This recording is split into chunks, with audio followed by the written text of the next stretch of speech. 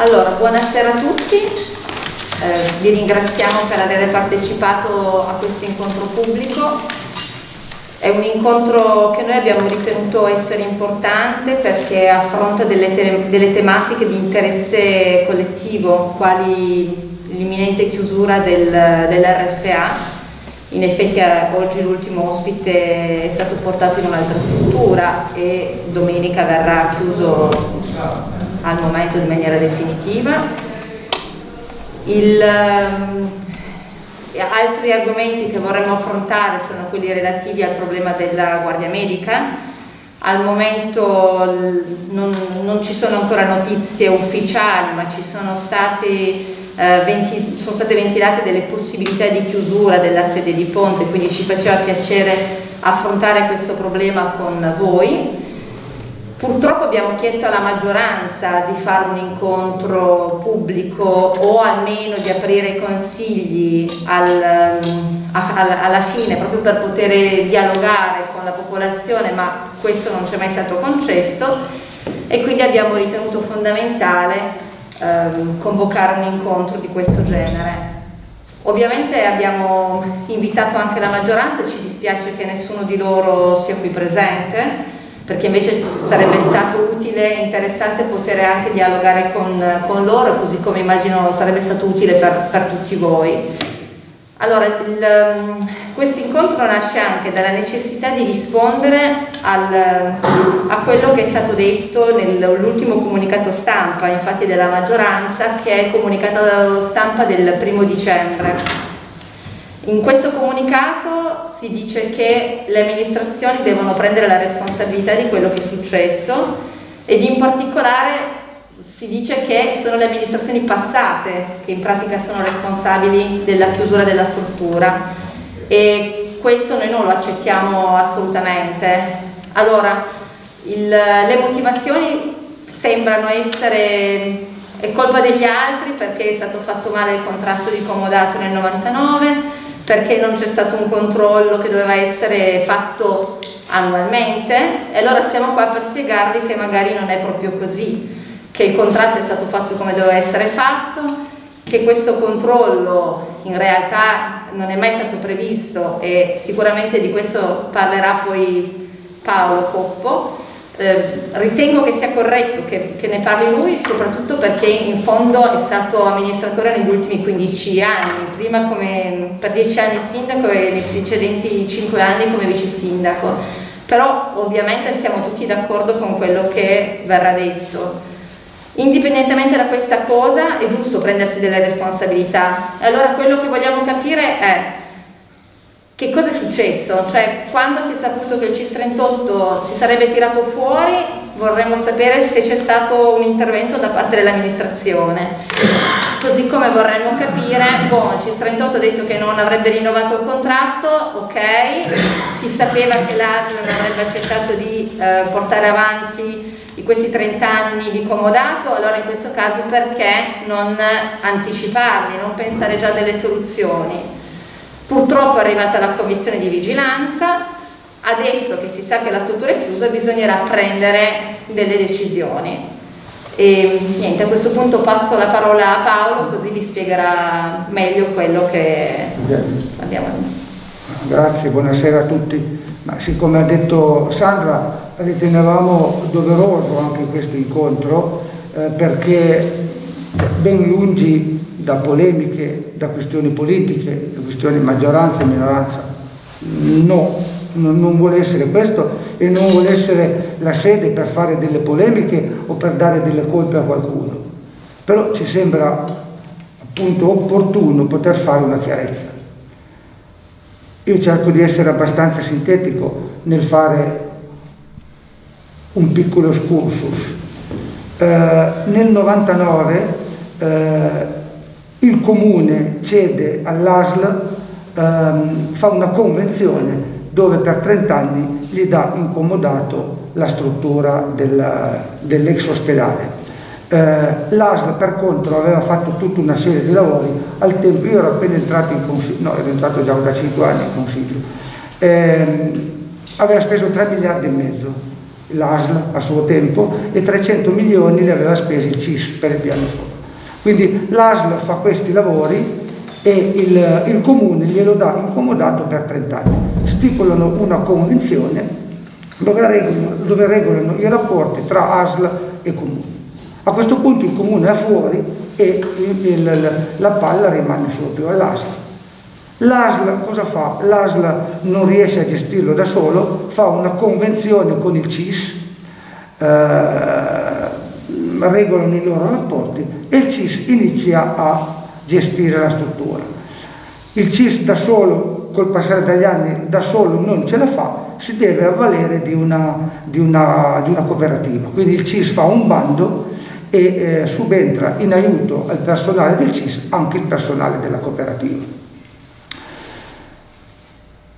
A un certo punto ancora il personale del, del, del CIS, e questo l'abbiamo preso l'anno scorso nel, nell'assemblea dei sindaci di, di fine luglio, eh, era già ventilato, ma il CIS nell'assemblea di luglio 2020 dice io non rinnoverò più la convenzione alla scadenza elettorale che è dicembre 2021, quindi un anno e mezzo prima lo dice, dice perché non mi è più conveniente, perché eh, del personale che avevano loro c'era chi aveva dei problemi comunque di salute, problemi di, di, eh, di, chi aveva mal di schiena, chi male a braccia, non riuscivano più, hanno dovuto compensare con del personale in più della cooperativa.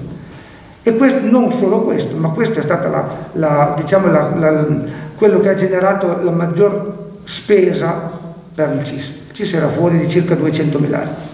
Quindi era una cosa che era, diventava difficile. Io sono andato all'assemblea, c'era l'assemblea, ma mi è diventato difficile sostenere di mantenere aperta una struttura quando era una perdita dimostrata così, così importante. Così che eh, eravamo a fine luglio, inizio agosto, quando c'era questa assemblea, eh, ci sono state le, poi un mese dopo c'erano le elezioni, le elezioni sappiamo come sono andate, noi ci eravamo fatti un'idea, tant'è che nel programma elettorale l'avevamo scritto, un'idea ce l'avevamo, però giustamente le elezioni sono state divers, diversamente, quando c'è stato il passaggio di consegne tra il sindaco precedente, una cosa normale questa che succede, quindi tra il sindaco precedente e il sindaco entrante, è consuetudine che ci sia un passaggio di consegne per lasciare quello che, quello che è il, il, il da farsi. In questa sede fra tutte le altre cose, ho illustrato, ho dato un verbale e ho illustrato questa situazione, che in buona sostanza ho detto quello che ho detto adesso. E ho detto che bisognava attivarsi, perché c'era un anno e mezzo davanti, però comunque bisognava muoversi per vedere che intenzione aveva l'ASL. Da allora non abbiamo mai più saputo niente. Cioè noi la prima comunicazione che abbiamo avuto, tranne le voci di paese, ma queste non, non sono voci da poter dare, dare peso, cioè noi la prima informazione che abbiamo avuto l'abbiamo avuto più o meno all'8 di ottobre in un consiglio comunale, quando eh, siamo stati informati eh, sul fatto che appunto eh, ci sarebbe stata questa chiusura e ci hanno informati dicendo che cioè noi abbiamo chiesto, dico, ma avete avuto degli incontri con l'ASL in questo anno? Dice, dice che l'unico incontro che c'è stato è stato ad aprile con l'allora eh, direttore Vercellino, il quale aveva garantito la disponibilità, quindi dall'ASL, a fare un bando. Quindi praticamente lo stesso bando, non c'era più il CIS, faceva un bando, un bando l'ASL. E aveva appunto garantito, da quello che ci è stato detto, che avrebbe, che avrebbe eh, fatto questo bando. Dopo un po' di mesi questo, questo Vercellino eh, è andato via ed è subentrato un altro direttore e anche qui l'unica cosa che ci hanno detto è che con questo direttore, con un certo ingegnere Scarpetta, che io non conosco, eh, dice che eh, hanno condiviso un sopralluogo presso la casa di riposo alla, alla vigilia di Ferragosto, perché avevano visto della gente sul tetto. Ora mi chiedo cosa c'entra il comune? Cioè, la struttura, del, la struttura dell'RSA è in capo all'ASL, il comune non è che deve andare a fare dei sopralluoghi, ma al di là di questo Hanno fatto questo sopralluogo alla vigilia di Ferragosto e da questo, da questo sopralluogo fuori, eh, sono uscite determinate, eh, determinate eh, situazioni critiche della struttura. Ma io l'ho letto il verbale, è un verbale che se dovessimo fare in questo edificio, se andiamo a fare all'asilo, se andiamo a fare alla scuola, chiudiamo tutto. Ora io mi chiedo, ma se il CIS non avesse avuto la convenzione in scadenza, cosa succedeva? Se andava ancora avanti o no? Ora, ripeto, noi non vogliamo polemizzare, abbiamo chiesto di avere la corrispondenza, semplicemente di avere la corrispondenza che c'è stato tra comune e ASL. Non c'è stato niente. In un anno, un anno e mezzo non c'è stato niente, in un anno, in un anno e mezzo è ancora passato. Cioè l'unica lettera che c'è è del, vado mente, il 15, otto, il 15 ottobre, dove, a seguito del consiglio che abbiamo avuto, dove il comune scrive giustamente all'ASL e finalmente dice guarda che tu avevi degli impegni che non hai onorato, tu dovevi mantenere la, avere la manutenzione ordinaria e straordinaria, non li hai onorati perché? L'ASL risponde, lo stesso giorno risponde e dice eh, il CIS non vuole più tenere la struttura, non vuole più tenere la, la convenzione. Se volete fare un bando, noi vi aiutiamo a fare il bando. In buona sostanza dice questo. Ma non funziona così. Cioè, l'ASL è titolare a tutti gli effetti, lo è ancora adesso per nove anni. Quindi quantomeno il comune fuori, ma quantomeno il comune, noi ci saremmo aspettati che ci fosse stata intavolata una trattativa, come in questo caso. Perché nella convenzione dice che se eh, l'ASL viene meno ai servizi che deve fare, tutti o in parte, può restituire la struttura al comune e il comune può prenderla. Ma non è che tu sei venuto, me l'hai tenuto per vent'anni. Se è vero che non ha fatto le manutenzioni che dovevi, adesso te la do me ne vado. Io ritengo che non funzioni così. Però noi di questo non abbiamo notizia di niente. Quindi, per riassumere, questa struttura e mi assumo la responsabilità di quello che dico, non andava chiusa, non bisognava farla chiudere. Perché una volta che è chiusa, poi riaprirla è ben difficile. Cioè questa struttura necessitava di, di interventi? Bene, quindi c'era da fare un bando, fai un bando, ma necessita di interventi, prendi i degenti, li sposto, quindi non chiudo ma sposto i degenti, ma non ci inventiamo niente, è quello che hanno fatto da altre parti ma soprattutto che hanno fatto in quella casa vent'anni fa. Cioè quando hanno fatto degli interventi di, di ristrutturazione senz'altro più imponenti di quelli che dovrebbero essere da fare adesso, i degenti li hanno spostati, hanno fatto i lavori e sono ritornati. C'era da fare la stessa cosa, la struttura non era chiusa, certo che il personale non poteva lavorare, ma intanto la struttura rimaneva ancora aperta. Adesso io non lo so come sarà, perché il comune poi ha scritto alla regione dicendo dicendo che era disponibile a prendere gli accreditamenti. Gli accreditamenti sono la possibilità di avere eh, il 40, numero, i 40 posti dei, dei, dei, decenti, dei degenti. Ma ho capito, ma è... Cioè l'ASL non può tirarsi fuori tutto questo. Io non voglio credere che il comune in un anno e mezzo non abbia mai fatto niente. Mi rifiuto di crederlo questo. Perché se ha un progetto o un qualcosa in mente e io me lo auguro, ma quantomeno siamo un, un anno in ritardo. Perché se c'era un'idea di fare qualcosa e ci si attivava mentre la struttura era ancora aperta, cioè fino adesso, in tutto quest'anno, fare un bando, cercare la collaborazione di un privato, ci sono diverse, diverse eh, soluzioni che si possono fare. Ma arrivavo adesso, beh, cioè momentaneamente chiudevo, ma sapevo già cosa fare, non è che di qui avanti devo partire. Perché adesso io mi chiedo, da domani in avanti, o, di, o quando non ci farà più nessuno, ma di quella struttura cosa sarà? Cominceranno a entrare dentro gente a, a fare atti vandalici, lavoro come normalmente accade nelle strutture chiuse? E quindi queste sono risposte che noi non, che non, non abbiamo avuto, ripeto ancora e lo ripeterò ancora. Non vogliamo fare polemico, puntare il dito. Non è sicuramente, non è sicuramente colpa dell'amministrazione se questo chiude, No, però qualche riflessione sul fatto che per un anno e mezzo non ci, sia, non ci, sia, non ci si sia attivati, beh, qualche riflessione io penso che sia da fare. E non si può neanche dare la colpa a chi c'è stato prima. Ma perché... meno perché avrete letto, perché è stato scritto in ogni dove, che la colpa, colpa, che i sindaci di prima avrebbero dovuto relazionare ogni anno al Consiglio Comunale. Non è assolutamente vero. Io vorrei che ci fosse qualcuno di chi ha scritto questo essere qui a dirmi dove, dove l'ha visto questo.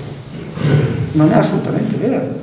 Loro fanno riferimento a una delibera, la delibera 161 del 99. Non dice questo. Quindi chi, chi, si è basato su quella delibera significa non che non sa amministrare, che non sa nemmeno leggere le delibere.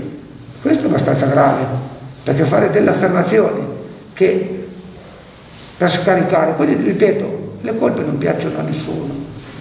Io sono dell'idea che i problemi vanno risolti. Poi se ci sono delle colpe, si possono vedere, ma in secondo ordine, innanzitutto vanno risolti i problemi. Qui io non so, Ora, c'è il problema dei dipendenti. Una cosa che si voleva chiedere era che se si fa un bando, almeno questo io mi auguro che venga, che venga assolutamente fatto perché sta già nella normativa, io mi auguro che se si fa un bando che il comune possa metterci mano, che almeno i, allora, i dipendenti del CIS, quelli sono stati ricollocati, CIS e AS, e quelli comunque una sistemazione ce l'hanno, ma i dipendenti di adesso quantomeno mettere una clausola che, possono, che a parità di condizioni possono avere, avere eh, priorità di, di, di, di assunzione.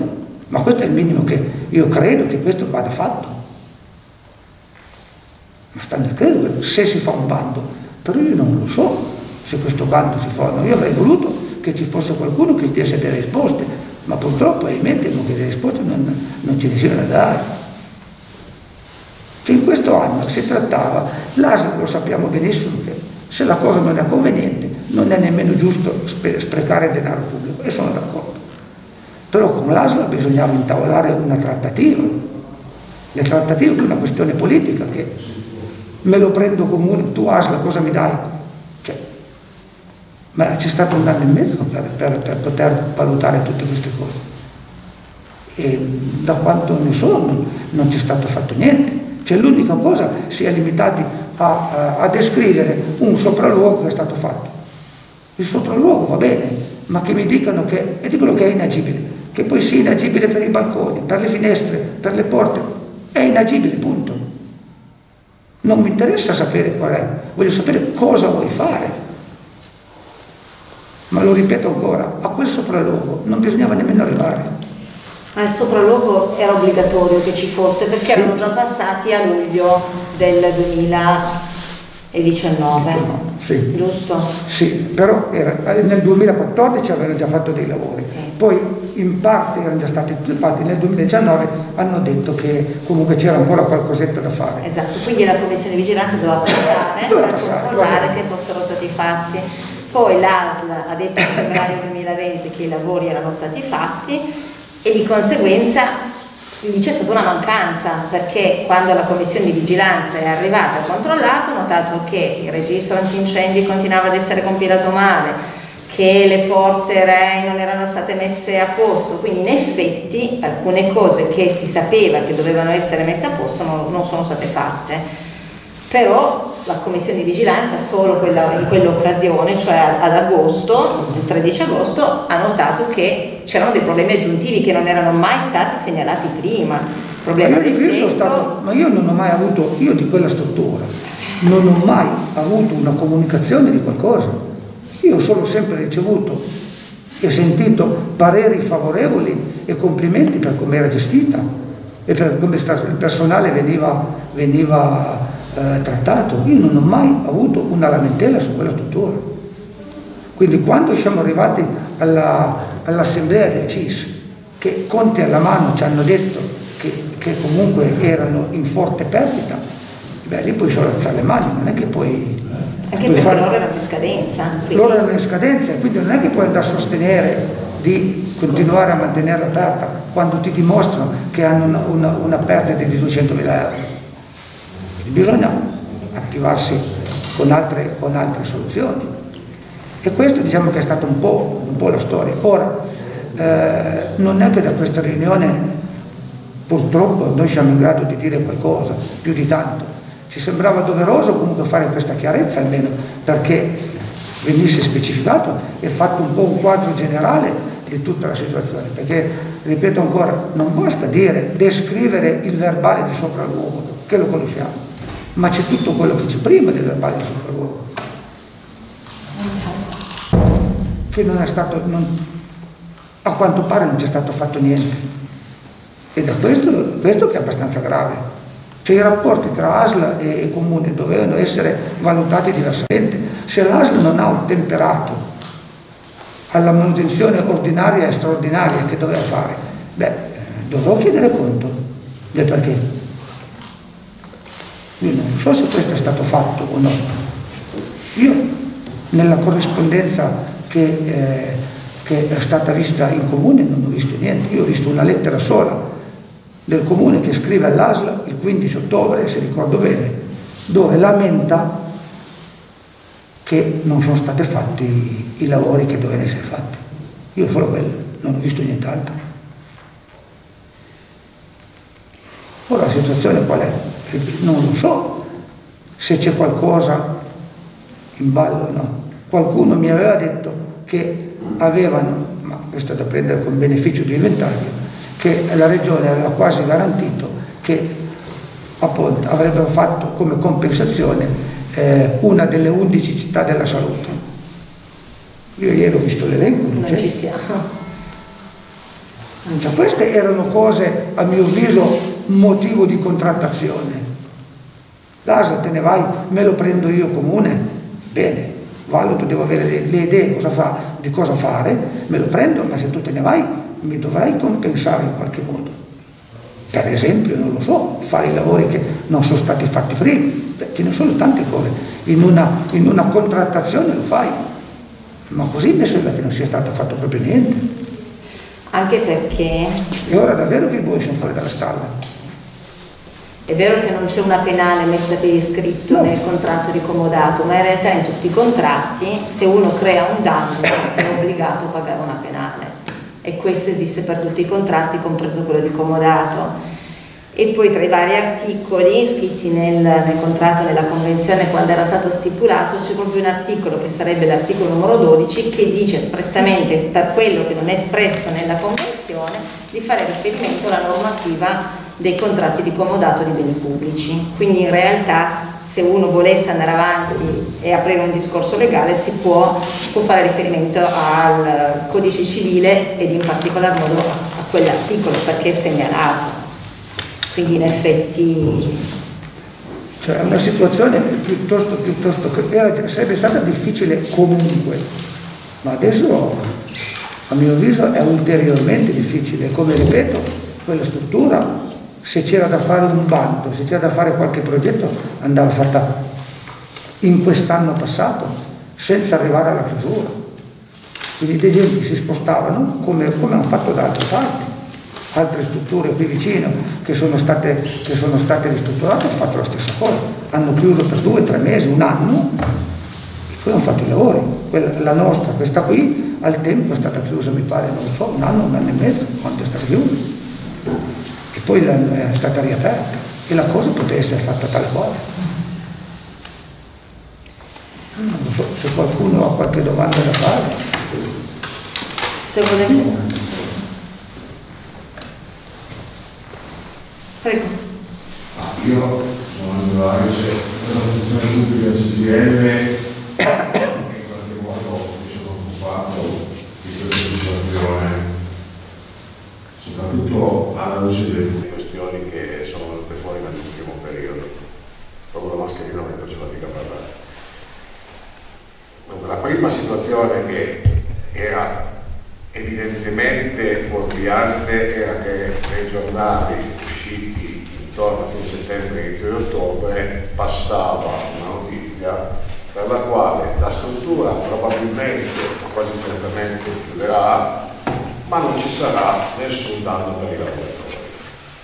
Allora chiaramente io rappresento i lavoratori della cooperativa, un collega qui non è presente perché abita a Crescentino, quindi un po' lontano da qui, rappresentava e rappresenta le lavoratrici del CIS e io mi sono venuto in contatto con lei per sapere cosa stava succedendo, perché noi le prime avvisaglie che c'era qualcosa che andava male, ma seriamente male, le abbiamo avute alla fine del 2020. Il CIS voleva già sfilarsi a quell'epoca, quindi poi forse nel 2020, come dice Coppola, formalizzato, ma la cosa era precedente, era sicuramente precedente. Sì, perché il, il debito che ha incominciato la perdita, che ha incominciato a avuto, l'ha avuto non solo nel 2020, è andata man mano crescendo. Quindi erano, ma non più tanti, erano due o tre anni che E poi il Covid non ha aiutato. Cioè, no, sicuramente il Covid io tutte eh. le RSA della provincia, non di Torino, fatto da Chivassa arrivo fino qui, Ea, Configo, la d'Aosta, Lanzo e Valli di Lanzo, quindi ho 60 e passa strutture, quindi sto vedendo veramente tante situazioni poco edificanti. Non dimentichiamoci che tra il 2020 e con questa del 2021 qui in Canavese, partendo da Ivrea andando in là, tre. Una a Piverone, una a Forno Canavese che è il mio paese di origine e adesso c'è questa. Quindi stavo dicendo, quello che non poteva passare, non, il sindacato non è qui per fare ovviamente questioni politiche di nessun genere, né maggioranza né minoranza, ma chiaramente quello che non poteva passare da questa informazione data in pasto all'opinione pubblica, poi chiuderà, ma non succederà da quei lavoratori, perché in effetti non è così. Non è così e non è ancora certo nemmeno che sia così per tutti i dipendenti del CIS38, che è vero che hanno l'impegno da parte dell'AS da essere ricollocati, ma non dimentichiamoci che sono persone di una certa età, con le schiere che qualcuno citava prima, non proprio, come dire, praticamente a norma, quindi sono persone di una certa età che hanno problemi fisici e che in una situazione come questa, dove sono stati fatti concorsi pubblici, cui bando ultimo si è a ottobre del 2018 hanno assunto circa mille fischi a os nelle AS della provincia di Torino. Tutti i bandi legati all'emergenza che hanno assunto a tempo determinato degli OS per l'emergenza sanitaria in corso, se c'è una cosa che si può dire in questo momento probabilmente c'è una saturazione a livello di OS e fin quando ci sarà l'emergenza sanitaria questa cosa non verrà, come dire, alla luce, ma prima o poi verrà alla luce, contratti atipici che sono stati, come dire, instaurati per cercare di sopperire all'emergenza sanitaria sono persone destinate probabilmente a stare a casa.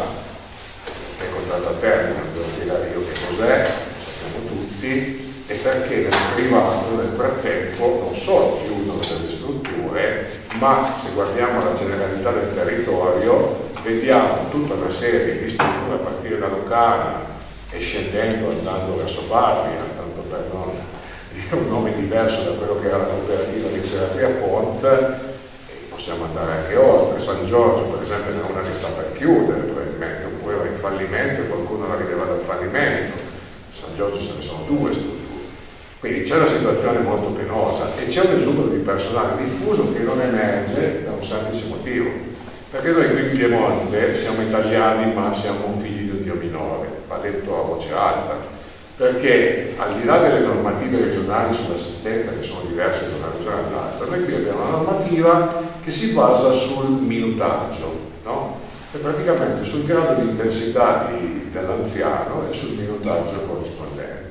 Nel momento in cui non c'è la rivalutazione dei gradi di intensità da parte dell'unità di valutazione geriatrica e nel momento in cui c'è una penuria anche data dal Covid, ma non solo dal Covid, perché come dice qualcuno molto così banalmente, dopo della strada, nelle case di riposo si muore ma non si nasce, cioè le morti nelle case di riposo purtroppo sono naturali, al di là del Covid.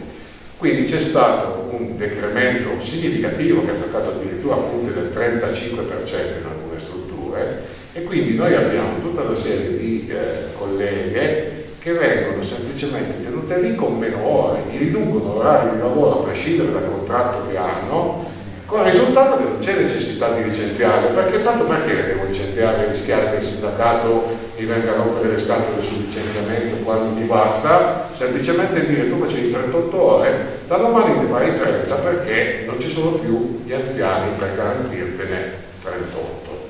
E queste cose non sono verificabili. Perché? Perché noi non abbiamo nessun potere, possiamo chiedere queste cose, spesso e volentieri ci vengono rifiutate o magari ci vengono date in tempi eh, dire, troppo lunghi, perché è chiaro che questa situazione ha la sua mobilità, è altrettanto chiaro che se io chiedo una, una cosa oggi me la danno fra tre mesi, quella valutazione potrebbe non essere più reale. Okay? Quindi la nostra iniziativa di andare sui giornali e dare voce a questi signori che sono qui, purtroppo ce ne sono poche, era proprio per dire quello che stavate dicendo voi. Qui ci sono delle persone che resteranno senza lavoro.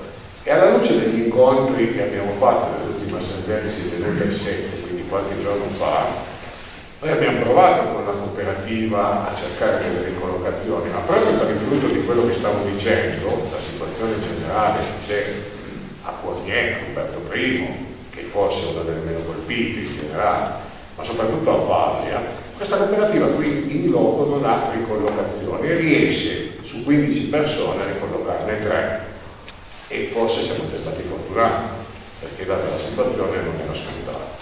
Ne abbiamo altre tre che si sono dimesse e hanno già come lettere di licenziamento in mano come tutte le colleghe qui presenti, si sono dimesse per poter accettare dei contratti a termine molto brevi perché saranno 2, 3, 4 mesi che so locale piuttosto che un'altra parte, senza prospettiva, perché chiaramente quei contratti sono legati magari a delle assenze, a delle sostituzioni, ma non certamente al contrario di quello che ho detto io fino adesso, cioè al fatto che ci sia un'effettiva necessità lavorativa e quindi noi a gennaio avremo cittadini di Ponte non solo, almeno nove persone, che vanno a finire in disoccupazione, quello che significa questa cosa quindi lo scopo del sindacato non è tanto entrare in una polemica, pur essendo chiaramente, come dire, soggetto civico per il quale credo sia normale, spica, beh, però poi la responsabilità qualcuno se la deve prendere in questo paese. A noi non interessa, maggioranza, minoranza, ASL. Sappiamo che sicuramente qualcosa non ha funzionato come state evidenziando voi, ma è qualcosa che ha portato una chiusura che oggi dà delle conseguenze a queste famiglie e a queste persone ma chiediamo semplicemente che le istituzioni a partire dal comune, mi spiace come dicevate voi che non ci sia la maggioranza perché è chiaro che lo capisco che questa è una senza molto rilevante, non possa in qualche modo, come dire, essere sensibilizzata, che questo era il nostro scopo, non solo a dire che qui non è vero che non succederà nulla, e infatti oggi possiamo dire che sta succedendo qualcosa di grave, ma si prodighino nel limite delle loro competenze, capisco bene che i comuni non è che abbiano grandi competenze da questo punto di vista, per cercare di dare una mano come stiamo cercando anche noi a livello sindacale e in parte da parte anche il CIS a cercare delle ricollocazioni, seppur temporanee, a queste persone. Perché purtroppo il meccanismo della disoccupazione, che è rimasto l'unico ammortizzatore sociale, come li chiamano in televisione, no? presente in questo paese, è una questione che lascia, lascia il tempo che trova. Prima di tutto erano diverse persone che erano a tempo parziale e quindi il calcolo di questa indennità si fa su questo. Seconda questione, dopo il terzo mese, al netto di una franchigia che è stata data da maggio fino a dicembre, dopo il terzo mese scende del 3% ogni mese, quindi ipotesi, abbiamo un part-time che forse prenderà 750 euro al mese per i primi tre mesi poi man mano che andiamo avanti questa cosa si riduce fino a diventare qualcosa che non garantisce sicuramente la sopravvivenza di qualsiasi persona. Allora, di fronte a un meccanismo del genere, che noi da tempo chiediamo venga fatta una riforma degli ammortizzatori sociali, perché qui avevamo una volta tutta una serie di strumenti che nel corso del tempo, Fornero, Berlusconi, tutto quello che è stato cancellato, hanno cancellato, anche Renzi, dire la per dirla proprio tutta, quindi non salvare nessuno da questo punto di vista, però è chiaro che noi dobbiamo portare agli occhi e all'attenzione dell'opinione pubblica questo problema, perché tutti, secondo me, ognuno per il suo ruolo, devono cercare in qualche modo di essere sensibilizzati per cercare di dare una mano a queste donne e a queste famiglie. Con una serie di problemi aggiuntivi, abbiamo qui una collega che io ricordo lavoravo locale, si è trasferita per Lucana Punta che ha problemi di mobilità. Adesso questa collega avesse anche avuto, di qui presente, una ricollocazione, se non ha un mezzo, non c'è un mezzo pubblico, qui entriamo in argomenti che sono ancora più grandi di noi, no? la mobilità in canavese, l'elettrificazione della ferrovia di cui meta. È chiaro che anche gli avessero dato una ricollocazione, gli avessero dato vai a lavorare a San Maurizio, che era il posto più vicino, lontano dalla corniera Fabia, che ha questa cooperativa, non si sarebbe potuto andare. Quindi ci sono i problemi anche oggettivi legati alle condizioni delle singole persone e delle singole famiglie. Allora lo scopo della nostra presenza, mi spiace anche di aver giornale, che il Consiglio Comunale, pur non essendo un Consiglio Comunale aperto, non si sia dato la parola a queste persone. Ma poteva, si poteva aprire poteva aprire, sicuramente sarebbe auspicabile e sarei stato ben felice di intervenire anch'io ad un consiglio comunale aperto per dire così sto dicendo dentro.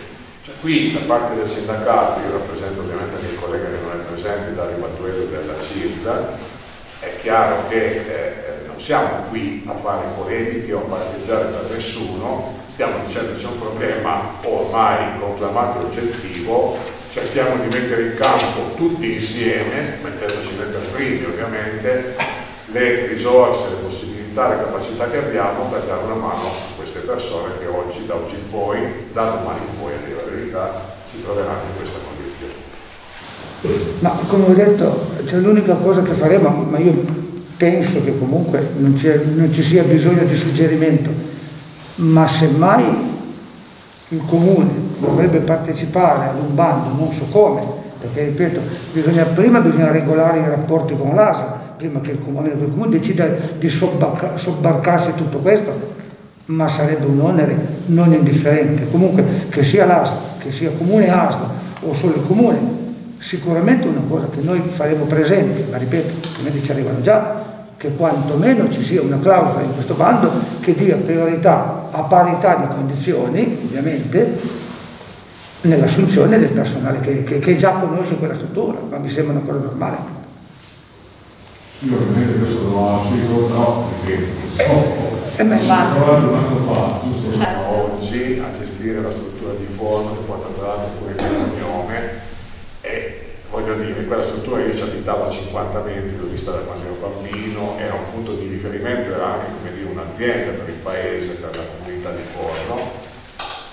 Quello che è uscito sui giornali e forse l'opinione pubblica non sa, perché abbiamo cercato di farlo sapere, ma chiaro che il caso era il Covid, no? La struttura è chiusa perché erano tutti positivi. La verità è che diceva lo stesso.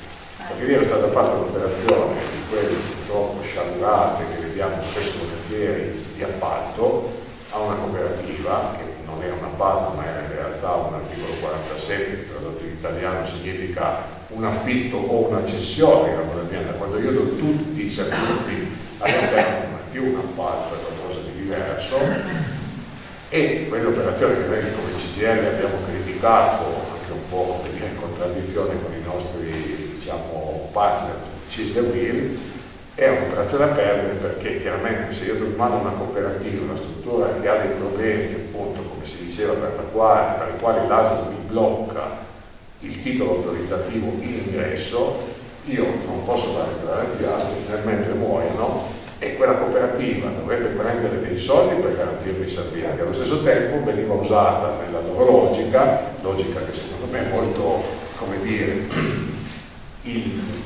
irragionevole, come bancomat per anticiparmi i soldi dei lavori, ma a un certo punto se io non riesco a prendere nemmeno i soldi della mia fattura, figuriamoci se anticipo un milione di euro per fare i lavori e mettere una norma.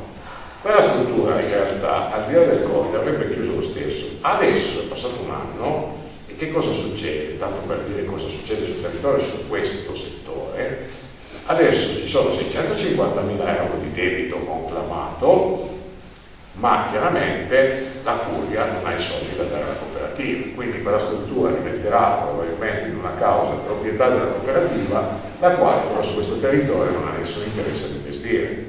Quindi quella struttura aprirà, difficilmente aprirà, probabilmente resterà chiusa, oppure verrà venduta a qualcun altro per fare qualche altra cosa, questo non lo sappiamo.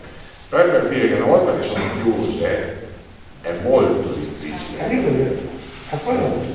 È lì che non bisognava più, che il nostro video non andava più come hanno fatto vent'anni fa, la stessa struttura. Sono parlati vent'anni è vero, ma la regola era questa. e poi forse conveniva spostare tutti gli ospiti in una stessa struttura di modo da garantire magari anche loro di poter andare a lavorare lì. Nel senso che ho letto che il, eh, la cooperativa Nuova Assistenza ha detto che non ha potuto assumere più personale perché gli ospiti erano stati spallati in varie strutture, non, non la fate in pratica. Quindi forse anche lì poi, sarebbe potuto fare pressione. Sarebbe una riflessione che però, eh, questa è molto più generale, sarebbe bello poter promuovere un'iniziativa che a livello diciamo, territoriale provinciale sarebbe nei miei auspici, ma questa pandemia non ce lo permette in questo momento, perché se si vuole parlare di c'è bisogno di riunire gente e in questo momento di riunire gente è ancora complicato. Però bisognerebbe fare una riflessione anche sul futuro di questo settore, perché perché noi abbiamo una situazione che voi in qualche modo avete toccato direttamente. Le convenzioni sono fatte dalla Regione. La Regione controlla l'ASL e la Commissione di Vigilanza è dell'ASL. Esatto. L'UVG è sempre dell'ASL e quindi a me sembra molto un conflitto di interessi perché non c'è interesse da parte della Regione a tirare fuori più soldi per l'assistenza e chiaramente se il controllo è dato a qualcuno che comunque in qualche modo è controllato dalla Regione a me pare molto, scusatemi il termine un po' come dire da uomo della strada un serpente che ti morde la coda no? Allora se non ci sarà un, una riforma allora viene usata spesso a sproposito ma non me ne viene un'altra a quest'ora della sera sono in giro da stamattina alle 8 è ovvio che questo settore avrà delle grandissime difficoltà nel futuro anche alla luce del fatto che non dobbiamo dimenticarci ma questa è dire, politica di questi giorni nazionale, che abbiamo delle pensioni sempre più basse e dei figli che stanno precari fino a 40 anni che non possono più fare da welfare familiare agli anziani come la mia generazione ha potuto fare i propri genitori. Quindi una riflessione, un convegno, un qualcosa che in qualche modo faccia, avendo diciamo, un problema sulla non autosufficienza che è conclamato non da oggi, da anni, credo che varrebbe la pena di farlo mi auguro che in futuro siamo in grado di farlo. Ci sono da dire una cosa, ancora tu hai fatto riferimento all'unico ammortizzatore sociale con la disoccupazione, ma un conto è andare in disoccupazione senza prospettiva, un conto è andare in disoccupazione con la prospettiva che dico fra un anno si riapre, è diversa la cosa, è diversa. Oggi questo settore è molto complicato, almeno nel breve periodo, poter pensare di ricollocarsi stabilmente. Ci sono delle aziende che cercano, noi l'abbiamo anche detto in assemblea, provate ad andare qui, provate ad andare lì, ma sappiamo benissimo che per esempio a Strambino, a Tina di Vestigné in questo momento ci sono delle ricerche di OS, ma sono ricerche temporali, dovute ad assenze, dovute a situazioni contingenti che non certamente a situazioni stabili. Va bene, c'è qualche altro intervento.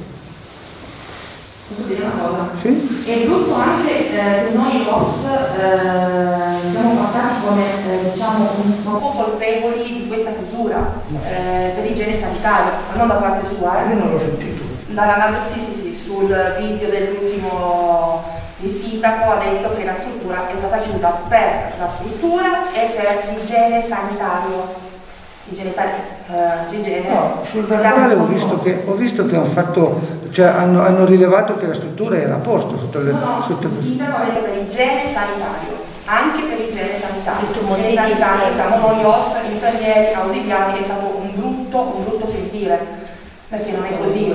Ma io ripeto quello che ho detto prima, io su quella struttura, com, allora, io rapporti con l'ASL non ho mai avuti perché non, non erano tenuti a dirmi niente in questi 15 anni però io le uniche cose che ho sentito su quella struttura in generale ho solo sempre sentito parlare bene. E sul verbale c'era scritto anche così, che tutto andava bene per gli OS e, e, quella sera invece il sindaco ha detto che la struttura è stata chiusa per la struttura e per l'igiene nostro sanitario.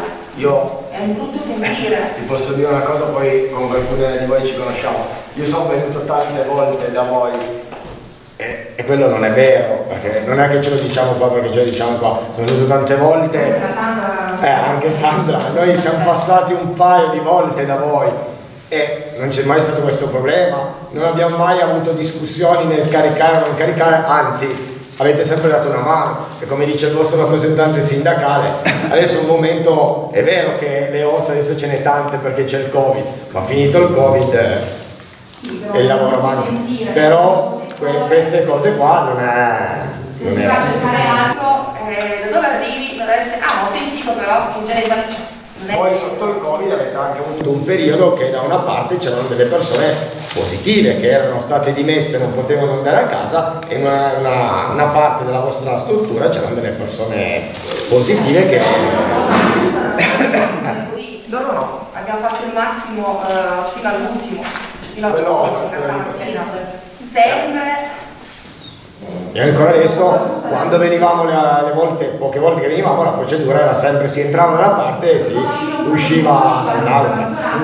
Uh, questa cosa che è stato comunque un brutto sentire. Forse ha detto male il verbale, perché nel verbale faceva riferimento al problema delle infiltrazioni, del fatto che non c'era l'aerazione. Sì, sì, ma noi lo sappiamo il verbale, però il sindaco ha detto che eh, non è giusto certo, non deve passare quello come, come messaggio. Certo. Tanto più che, che, davvero le cose che sono segnalate, al di là di questa cosa recente del problema del tetto, delle infiltrazioni che, proven che provengono dal, dal terreno, sì, le altre cose non le potevate gestire voi, il registro antincendi non è di vostra pertinenza, così come neanche fare i lavori, mettere a posto le porteree, quindi sono tutte cose che dovevano, fanno parte della manutenzione ordinaria, tra l'altro, neanche straordinaria. Il tetto è un altro discorso ma gli, gli interni dovevano essere messi a posto probabilmente dall'ASL. E abbiamo anche qua tra l'altro la convenzione, se qualcuno poi fosse interessato a leggerne i vari articoli, c'è proprio detto di chi sono di pertinenza, eh, quindi sono a disposizione di tutti. No, la convenzione è stata fatta bene a suo tempo. Sì, sì, chi sì, l'ha fatto la convenzione vent'anni fa l'ha fatta bene, era, era specificata molto bene, cioè diciamo che dalla parte del comune eh, ha tutelato l'ente, ha tutelato il comune sì. con quella convenzione, niente da dire. L'articolo 7 tra l'altro dice che l'ASL è costituita custode dell'immobile oggetto, ne cura diligentemente la conservazione ed esonera espressamente il concedente da ogni responsabilità per danni diritti indiretti, quindi c'è già scritto lì. E poi ci sono anche nell'articolo 4 dice l'ASA sta provvedendo e provvederà a sua cura e spesa all'esecuzione dei lavori di manutenzione straordinaria ed ordinaria, quindi quello era già scritto allora. Invece l'articolo che dicevo, proprio l'articolo 12, per tutto quanto non previsto espressamente nel presente atto si fa riferimento alle disposizioni contenute nelle leggi in tema di comodato di beni pubblici. È a questo articolo che ci si può rifare per pensare ad un eventuale penale, cioè capire se si può richiedere qualcosa all'ASL. Quindi... Cioè l'ASL non si può tirare fuori da questa storia? No, è prima della scadenza, è vero, cioè bisogna, bisogna capire, condividere il danno perlomeno. Sì, la, diciamo che quella RSA adesso era forse l'azienda più grande di Ponte, perché lì giravano a tempo pieno e part time ovviamente, chi veniva, c'erano 35-40 persone se non sbaglio, quindi ripeto, fra part time, ma quindi è un'azienda non indifferente per, per, per, la più grande che sia adesso, quindi, ma al di là di questo eh, è la tutela dei lavoratori che è già così difficile e precaria, quantomeno va salvaguardata per quanto possibile. Noi cercheremo di fare presente alla maggioranza i problemi Questo lo diremo, sono... ma io penso che ci arrivino, sì. che ci arrivino già loro questo. Però è da, capire, è da capire se c'è qualcosa in atto o no.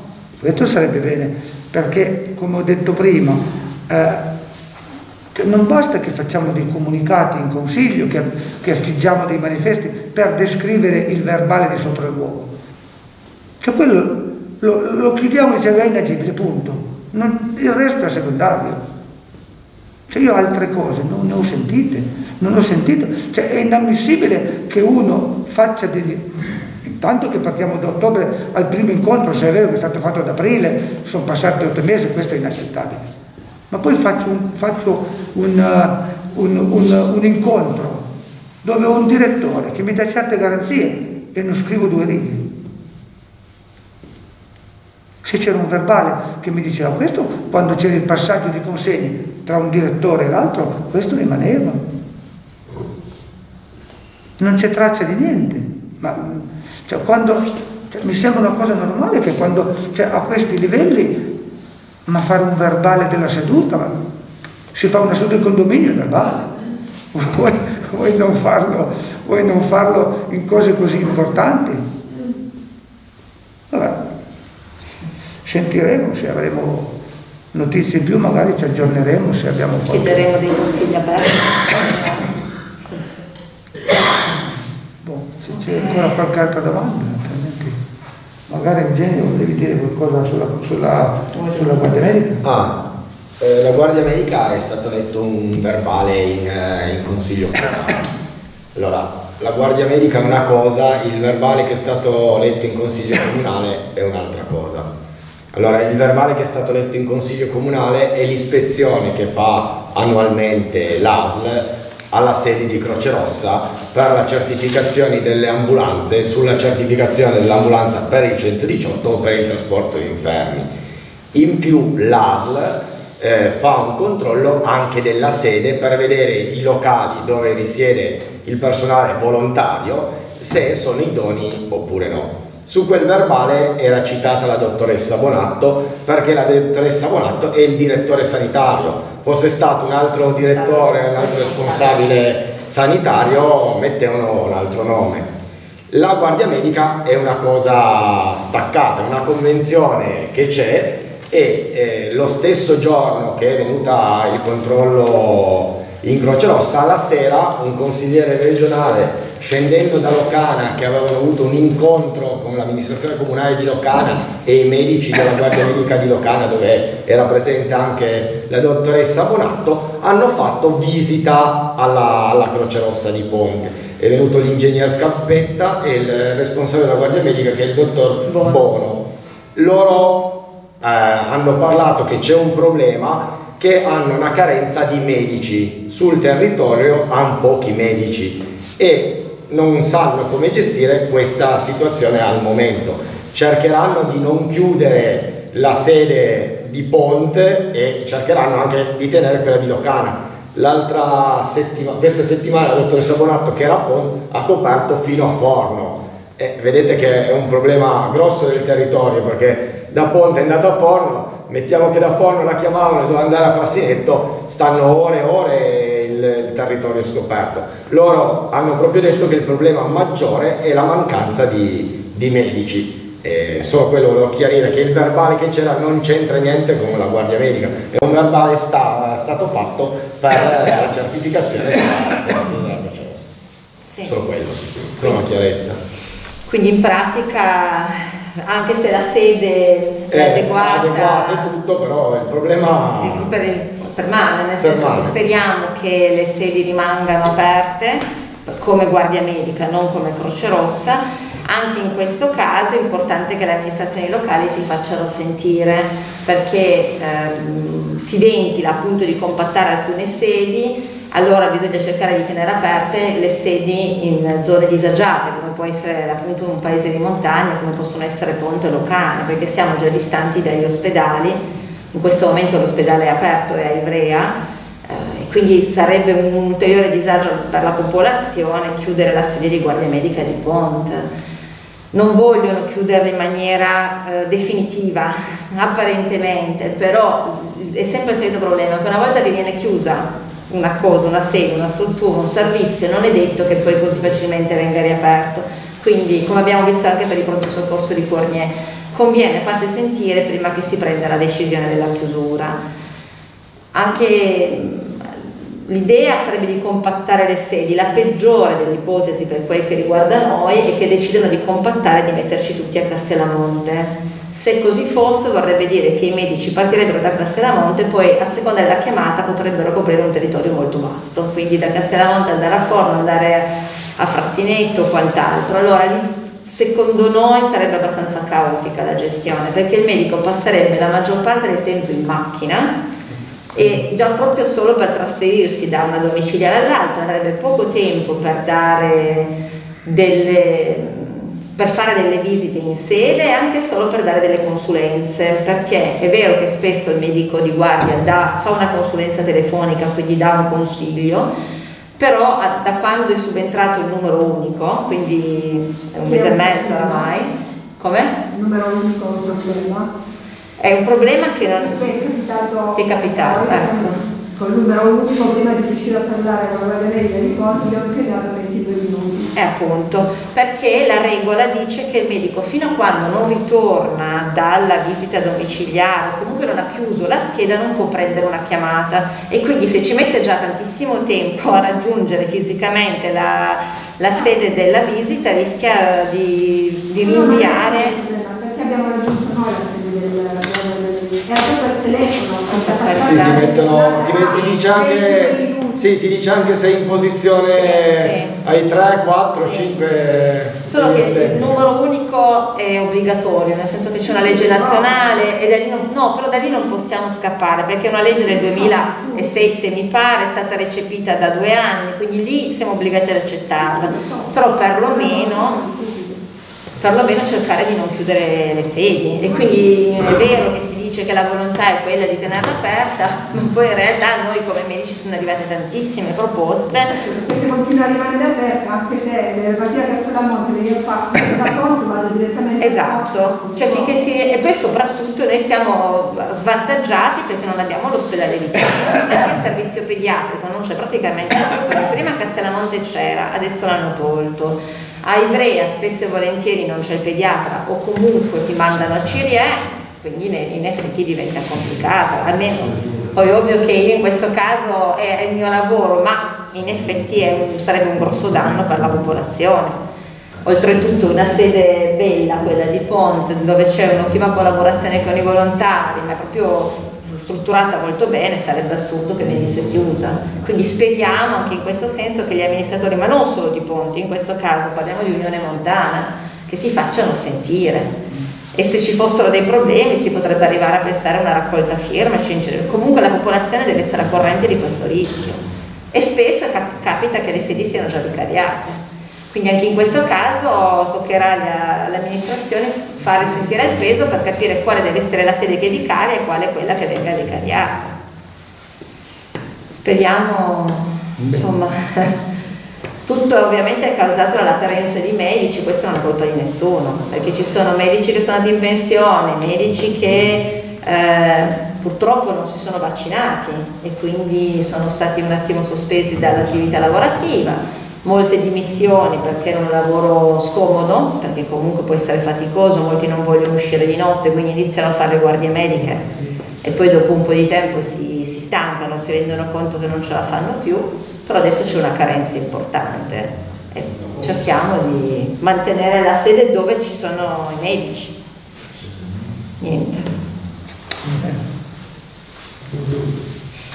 Se avete dei dubbi anche in questo senso. No, l'importante è che si capisse che sono due discorsi diversi, una è la Croce Rossa e una è la Guardia Medica. La Croce Rossa è, rimane e non ci sono problemi, per quel che riguarda la Guardia Medica può darsi che le sedi vengano compattate, ma speriamo di no.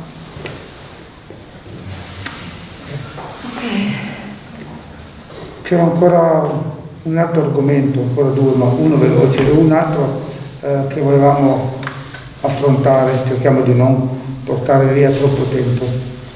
La scuola. Ne avrete sentito parlare, sono anni che si parla di questa scuola. Eh, diciamo che ormai è una vicenda annosa con informazioni discostanti. Eh, I motivi sono stati di tutt'altra natura che vanno oltre quello che è l'interesse puro della scuola e degli alunni. Quando si era partiti cerco di farvi una cosa veloce perché ripeto delle cose che probabilmente sono già, già sapute, però ci sono due o tre aspetti che è bene sapere. Questa scuola è stata fatta nuova con un intento di fare un polo scolastico che raggruppasse da 0 a 14 anni tutti i ragazzi in un unico, in un unico polo ce ne sono pochissimi in Italia, avevamo la possibilità di farlo. Abbiamo valutato bene la possibilità di ristrutturare, di ristrutturare questa scuola, questa scuola non è ristrutturabile, cioè, l'impossibile non c'è niente, ma ci andava eh, una barca di soldi che era insostenibile. Oltretutto non ci sarebbe stata possibilità di avere nessuna forma di contributo perché non avendo un adeguamento sismico, quindi la regione e lo Stato, se non c'è l'adeguamento sismico non ti dà contributo. Quindi eh, i principali, ehm, inizialmente il primo aspetto su cui si è contestato è stato l'aspetto economico, dove si è detto che eh, avrebbe generato delle grosse spese, dei grossi debiti per tutta la, la popolazione che si sarebbero protratti, protratti per, per molti molti anni. Quando è stato dimostrato che comunque non ci sarebbe stato indebitamento, ma che le risorse erano, trovate, erano state trovate, si è dirottato la, la, polemica è stata dirottata sul, sul, fatto che bisognava ristrutturare quell'altra. Come vi ho detto, quell'altra non si poteva ristrutturare, o non era comunque conveniente, perché strutturalmente quella scuola, quasi tutti noi la conosciamo, quella scuola, quella scuola è stata fatta male e non è stata fatta per, per essere una scuola da, da, di montagna, al di là che non ci sia il tetto ancora, ma anche come è dentro. Ci sono degli altri che non si possono sfruttare. Ci sono delle aule che in, giorno, in pieno giorno con il sole devono accendere la luce, quindi non, non si neanche parlare. Sono iniziati questi lavori, quindi la copertura economica è stata garantita, sono stati iniziati i lavori della nuova scuola e in un anno è stata costruita. È arrivato il Covid anche lì, dopo un anno, che diciamo, ha fatto un po' la sua parte nel ritardare ehm, alcune pratiche burocratiche.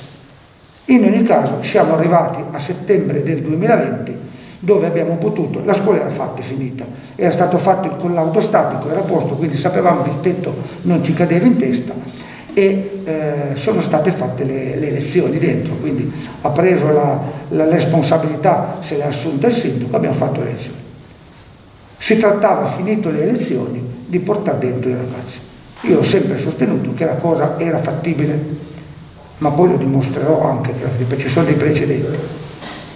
Quindi a fine elezione, quindi a settembre, i ragazzi avrebbero dovuto entrare e partiva tutto un cronoprogramma che vedeva interessata la scuola media, la scuola attuale media doveva essere strutturata con un adeguamento sismico per questo la Regione ci aveva dato un contributo speciale dato a tre comuni di tutta la Regione di 550 mila euro, già arrivati in comune. Quindi la copertura era fatta. Inizialmente c'era già un progetto da 300 mila euro per la ristrutturazione delle, delle aule e la costruzione di una nuova cucina.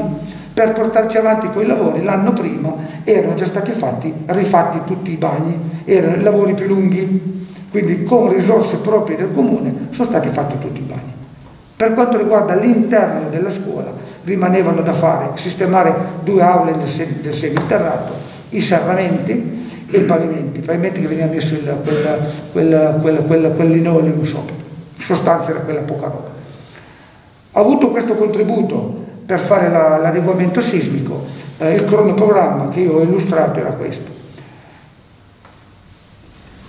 a ottobre è arrivato il contributo, entro gennaio, nei due o tre mesi, si doveva fare l'appalto, da gennaio partivano i lavori, i lavori duravano 3-4 mesi al massimo, mettine 5, arrivavamo all'estate, eh, i lavori della sismica erano fatti, c'era ancora un paio di mesi per fare gli altri pochi lavori dentro. A settembre i ragazzi erano, i ragazzi delle elementari erano, potevano essere trasferiti, settembre passato. Il non aver fatto questo, e anche qui non voglio polemizzare, ma io sono convinto di quello che dico, ha portato tutto a caduta, a caduta tutta una serie di, di, di, di, incombenze non di poco conto, sia logistico che economico. Perché davvero quindi economico, se prima non ci sono stati debiti, adesso ci sono economicamente, c'è da dire, e molto. Il mancato, quindi il mancato trasferimento dei ragazzi dall'elementare alla media, che doveva avvenire quest'anno, ha comportato che quella scuola, il piano terra era venduto, metà era venduto, quindi si è dovuto pagare, si dovrà pagare una penale da 30.000 euro. Non si incassano più 150.000 euro della vendita.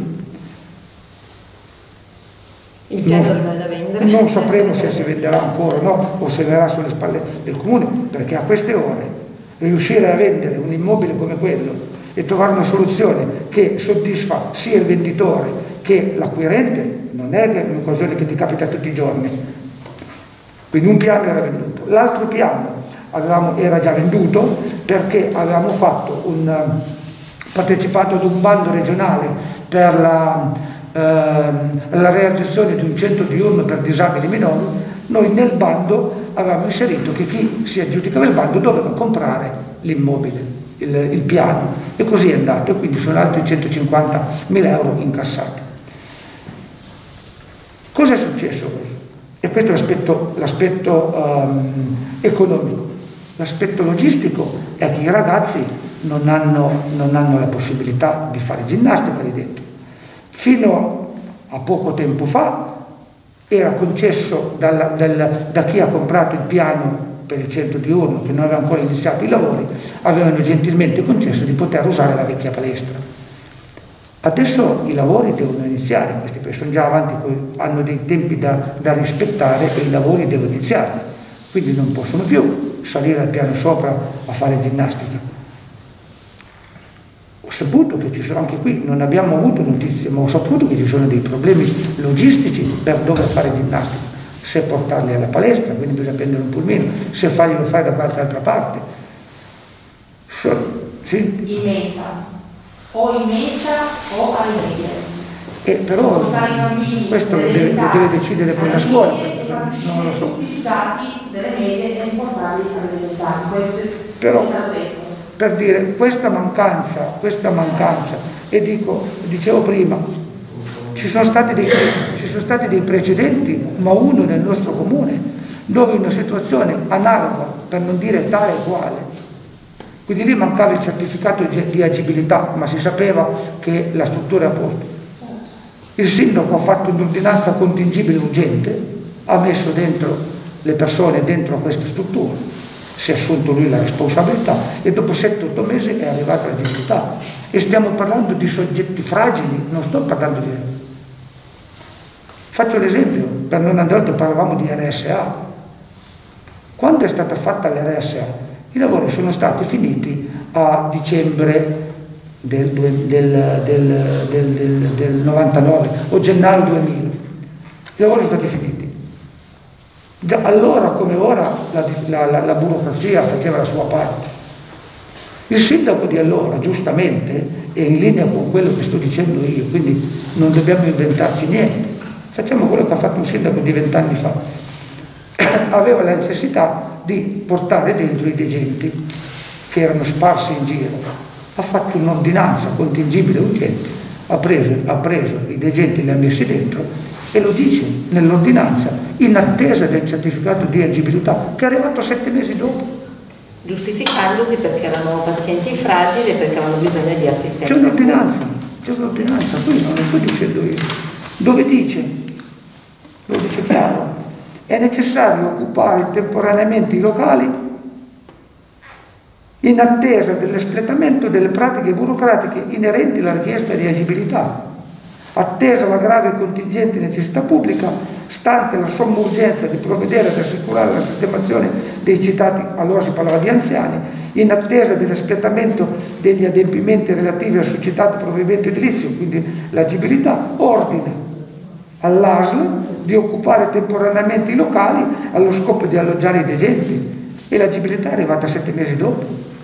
Si fa la stessa cosa. La scuola adducendo la motivazione del Covid, del fatto che La motivazione, c'erano tutte le motivazioni che volevamo, perché intanto la scuola media abbiamo un foglio che ci dice che è idonea sismicamente solo al 20%, come tutti gli edifici o quasi tutti gli edifici pubblici, tranne la scuola nuova, questo edificio ostrificio tutti. Lì però c'è un foglio che ce lo dice, che è idoneo sismicamente al 20%.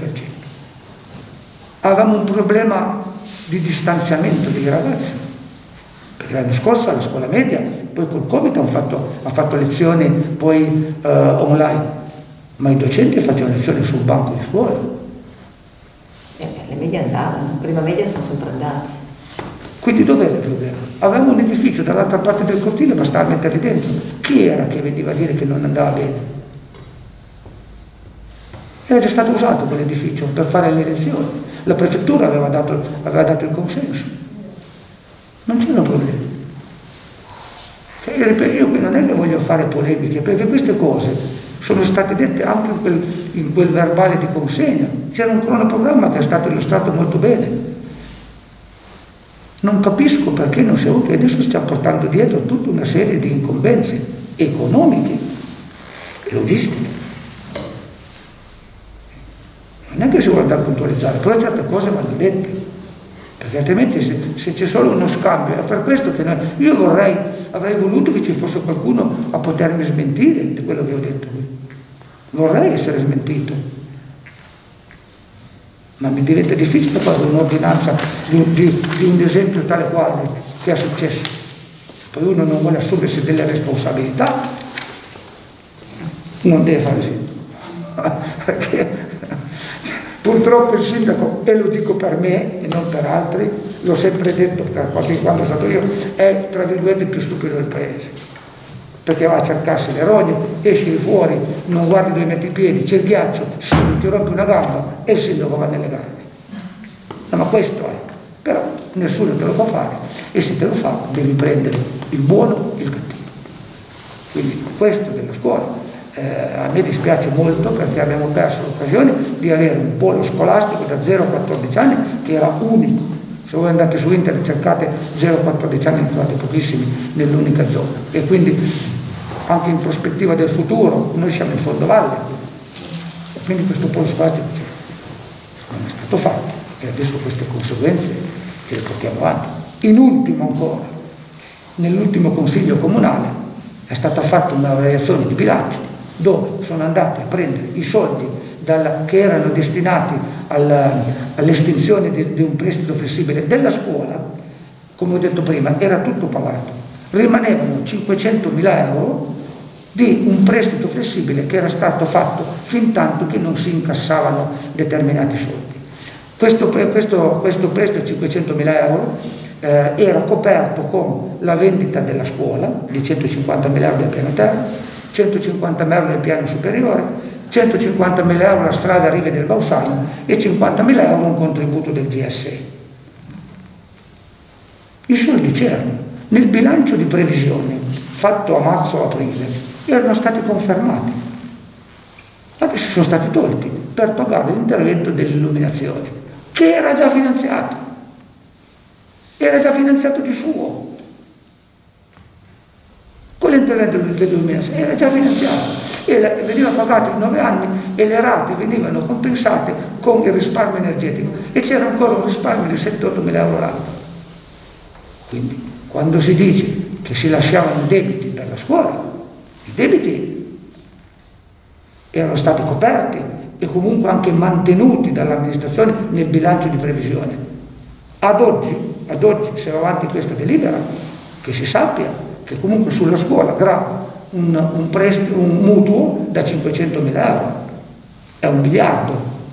E sono 25 mila euro l'anno da pagare, si pagano, perché se uno fa un mutuo è perché hai la copertura, però comunque non era il caso di lasciare alle, alle generazioni future per 30 anni da pagare 500.000 euro, sono 25.000 euro all'anno, con 175.000 euro di interessi da, da pagare nell'arco di, di, tutti gli anni. Se si chiudeva, se si estingueva adesso, c'era un tasso da pagare del 9% ed erano 45.000 euro. Quindi 500 ne restituivi 545. Va bene, ma io, ma io, andando avanti non ne pago 45, ne pago 175 mila euro. Non, pago, non, la pago io adesso, ma le pagheranno quelli che vengono dopo. Mentre le risorse ce l'avevo, perché, devo, perché non dovevo pagarlo? Vado, vado, a dirottare i soldi in un altro intervento dove c'era già la copertura, senza indebitamento. Quindi sulla scuola, ripeto, era, eh, è andata male. Eh, e questo ha generato appunto un sacco di spese che, non, che, non andavano, che potevano essere evitate. Quindi questo mi premeva dirvelo perché comunque saremo l'unico paese che ha avuto da ridire, c'è stato qualcuno che ha avuto da ridire che si faceva una scuola nuova. Ma io parlavo con tanti colleghi, ma dicevo, ma dove siete gli unici che reclamate perché fate una scuola nuova? Abbiamo una delle scuole, può piacere, dovere bianca, rossa, gialla, quadrata, rotonda. Abbiamo una scuola che è fra le più sicure, fra le pochissime sicure del Canavese. Cioè a noi interessa che siano sicure, che i ragazzi che sono dentro stiano bene, siano bene. Qui hanno problemi di freddo, là hanno problemi di troppo caldo. Sono 15 giorni con 15 gradi dentro. Di Qui- bambini al freddo. Sì, sì. Là, hanno- là hanno problemi che fa troppo caldo. Dopo 15 giorni io l'ho fatto tutto la palestra e ho chiamato a co- a- al vice sindaco Montonera perché i bambini avevano freddo da 15 giorni esatti, con 15 gradi dentro la scuola. Cioè qui in questa scuola sì che ci sono le infiltrazioni dal tetto, non, allo- non alla- all'RSA, qui ci sono, qui le, le ho viste io, qui nelle aule, nell'aula sopra, i secchielli e il nastro bianco e rosso transennato de- che non poteva entrare, la prima aula sopra l'ho vista io questi, un temporale che è entrato dalle finestre. E nella scuola nuova eh, allora, eh, ci sono 5 classi eh, che entrano dalla porta principale e una classe che esce esternamente e, e- e fa tutto il giro della scuola. Io questa cosa qua non l'ho capita. Quale scuola nuova? Cioè nelle medie nuove? Quelle nuove? Sì, quelle nuove. Cinque classi entrano e escono dal portone, eh, quello principale, una classe, eh, la prima B, esce esternamente. Vabbè, lì saranno problemi. Però col gelo, col freddo, col ghiaccio, con la neve ci sembra un po' eccessiva, perché una classe su sei, eh, su sei deve uscire fuori. Cioè deve uscire Vabbè, non- Sì, no, esternamente. E si è parlato anche del Covid, non penso che una classe ci trova il Covid, non penso che sia una cosa Vabbè, giusta questo, cioè, questo, questo aspetto ti premeva chiarirlo e ripeto, avrei voluto che ci fosse qualcuno a smentire questo, mi piacerebbe poter essere smentito su questo, ma quando parlo con documenti alla mano penso che venga... discorso che una classe entra, magari non adesso non bene, comunque c'è un protocollo di sicurezza Covid. Sì, Non credo sia solo una classe, però ci sarà un protocollo, quello sarà un protocollo. Solo la prima esce dall'esterno. Sì, sì. Però E Io sono, quella, cioè, quella scuola è una scuola comunque sicura, punto. E, niente, un'ultima cosa ancora per quanto riguarda la torre, l'avevamo annunciato anche, la torre di sopra era stato fatto un bando che scadeva a ottobre dell'anno scorso, un bando per fare un ristorante. Avevamo già fatto un progetto esecutivo approvato dalla sovrintendenza,